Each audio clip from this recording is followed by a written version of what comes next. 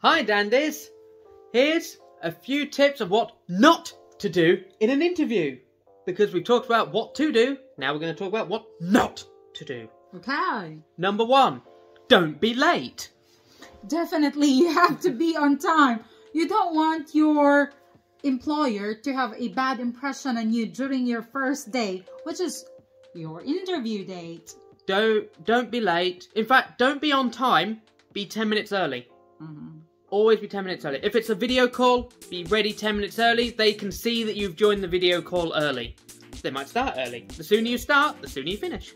And then if you're late, they will ha- they will be thinking, oh, this person is not very particular of time. They might do that when they work in the ward or in the clinical area. And at the same time, if you're late, you will feel nervous. Yeah. Yeah, you don't want that bad feeling to creep into you when you're there in an interview with two people checking how you get on. Absolutely. And of course, if for whatever reason you are going to be late, it happens, give them notice. Say to them, I'm really sorry, I'm gonna be X minutes late because XYZ. At least then they know to expect it without them sitting there going, well, where are they? Um, this also goes hand in hand with my point and a half, which is double check what time your interview is. I have made this mistake once. I promise I have made this mistake once. I went for an interview and turned up at uh, half past 2 Mhm. and I was there ready, going, right, I'm here for my interview. They said, your interview was at half past 1. Ooh.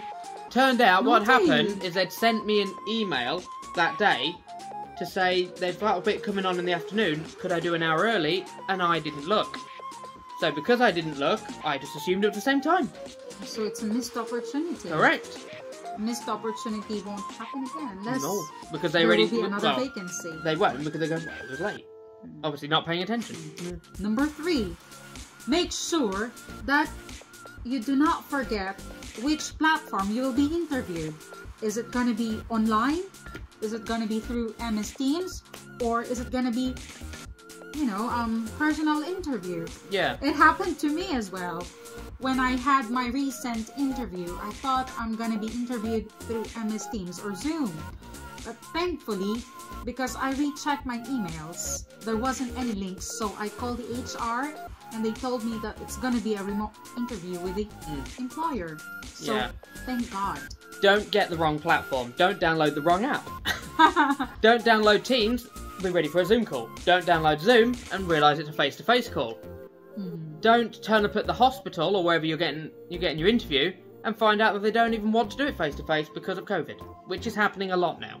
Yes, But it still happens. it does. One other thing. Don't sit there boringly reciting facts after facts after facts without any humanity. You are a person, not a book. You are not there to tell them everything they know about the topic of nursing dating back from Florence Nightingale. They don't want to know about the ancient Roman methods. Mhm. They want to know about you and what you're like as a nurse. And as a person, Absolutely. Absolutely. Don't be a mannequin. You have to have a feeling and emotion. It's also okay if you feel nervous because it's nerve wracking to be in an interview. Make a joke. So, I mean, just show who you are and be who you are. Make a joke about being nervous. It's fine. Mhm. You know, they know you're nervous. Break that ice. Another tip not to do don't over break the ice to the point where you're drowning yourself in your own bad humour. I know, I've just said to break the ice, but there's a point.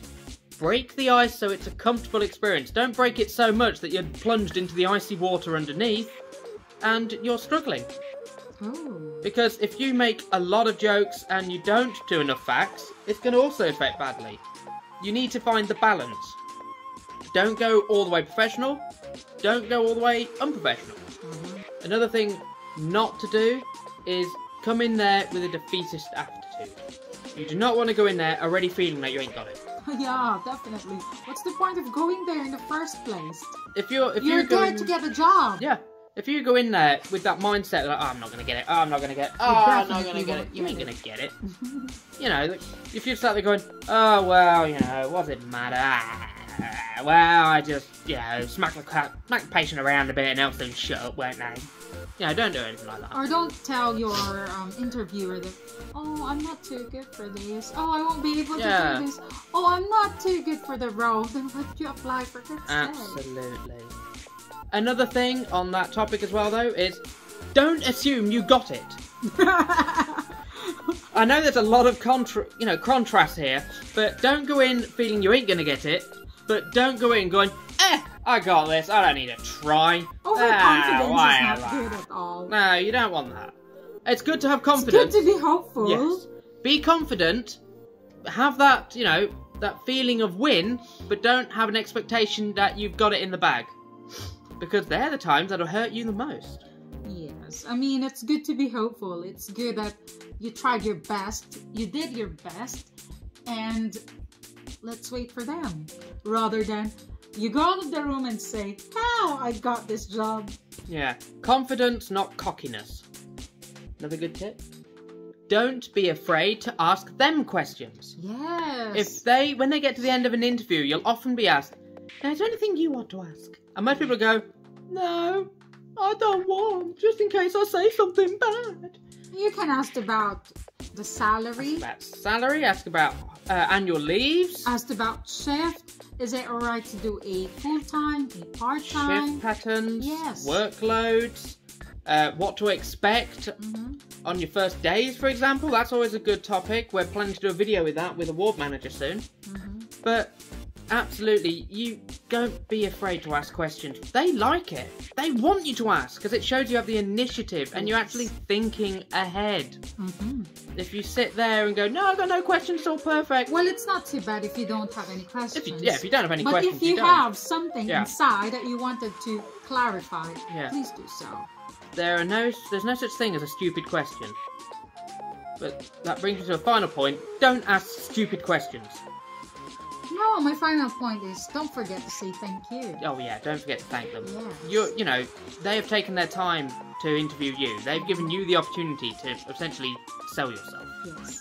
So thank them So it's very good to say thank you. Yeah, thank you for the time. Thank you very much. But yes, but don't ask. I mean, you can ask stupid questions, but there is a limit.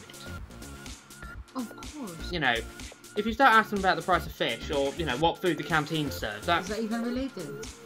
It's related to what I was saying before you interrupted me. We don't talk about Bruno. Anyway, I hope this video has also helped. Stay tuned for another one, yeah, starring myself and the cutie, or just cutie, or just me, who knows. Who knows? But we'll see you in future videos. in the future videos. Bye for now, dandies! Bye for now, kitties. Música